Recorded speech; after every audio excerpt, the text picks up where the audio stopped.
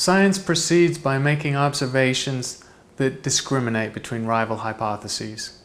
Galileo's observations of the phases of Venus were decisive evidence in favor of the heliocentric model.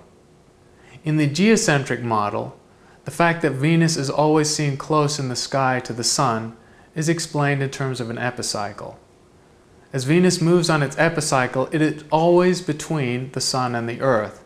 Thus, the phases of Venus do not change substantially, since Venus always has its sunlit face pointing back towards the Sun.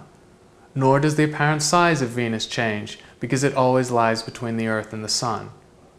In the heliocentric model, Venus is sometimes between the Earth and the Sun, and sometimes on the far side of the Sun from the Earth.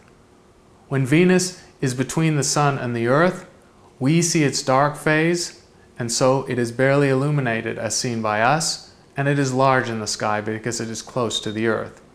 When it's on the far side of the Sun from the Earth, we see its fully illuminated half, so it has a full phase, and its angular size is smaller because it is far from the Earth.